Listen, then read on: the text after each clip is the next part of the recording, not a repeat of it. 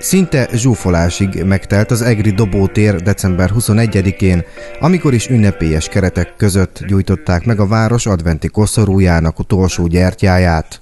Az eseményen egyházi elöljáróságok, valamint Habis László polgármester és Nyitrai Zsolt országgyűlési képviselő is megjelent.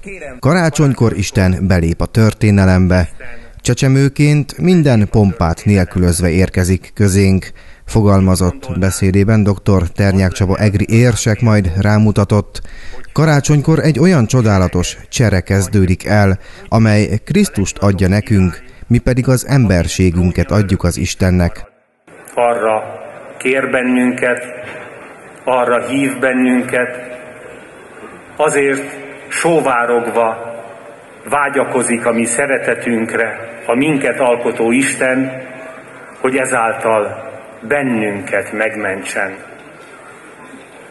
Ez karácsony csodálatos titka, és ez az, amire évről évre mindannyian örömmel csodálkozunk rá, és adjuk át magunkat neki szeretettel, és észrevesszük őt másokban, a másik emberben, akinek a szívében szintén ott lakik az Isten.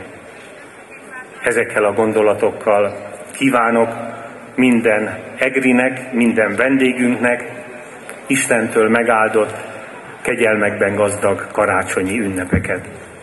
Tóth Imre református lelkész áldását követően cserkészek hozták az adventi koszorúhoz a betlehemi lángot, amelyről Ternyák érsek meggyújtotta a gyertyákat.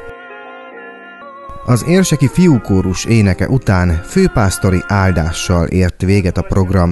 A fiú és a Szentlélek